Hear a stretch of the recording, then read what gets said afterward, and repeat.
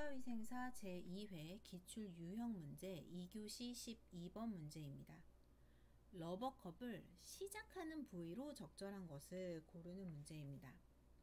설측면, 협측면, 근신면, 교환면, 인전면이 보기에 있는데 정답은 1번 설측면입니다.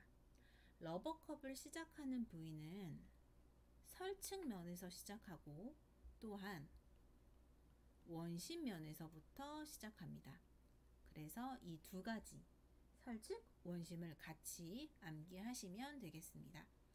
12번의 정답은 1번입니다.